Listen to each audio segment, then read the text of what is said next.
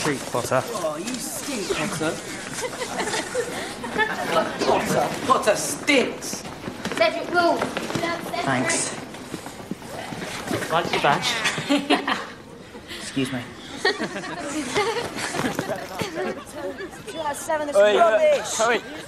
Oh, oh, what's that? Hey, read the badge, Potter. Could I have a word? All right. You stink, Potter.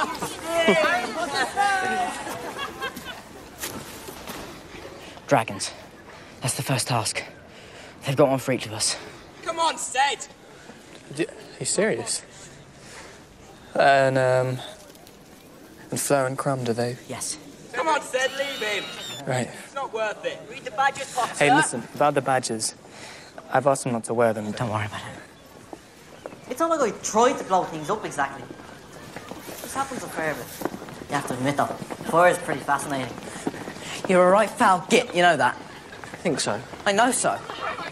Anything else? Yeah. Stay away from me. Fine. Potter. Why so tense, Potter? My father and I have a bet, you see. I don't think you're going to last ten minutes in this tournament.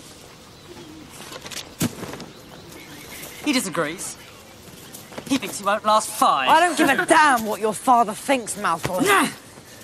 He's vile and cruel, and you're just pathetic. Pathetic. Oh, no, you don't, Sonny! I teach you to curse someone when their back is turned. You stinking, cowardly, scummy, Professor butt Moody! shooting, What are you doing? teaching. Is that a is that a student? Technically, it's a ferret.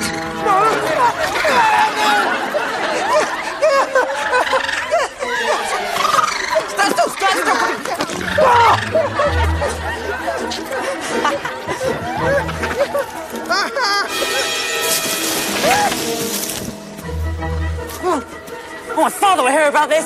Is that a threat? Professor Moody! Is that a threat? Professor? I can tell you stories about your father that would curl even your greasy hair, boy! Alastor. It doesn't end here! Alastor, we never use transfiguration as a punishment. Surely Dumbledore told you that. He might have mentioned it. Well, you will do well to remember it. Wait. You.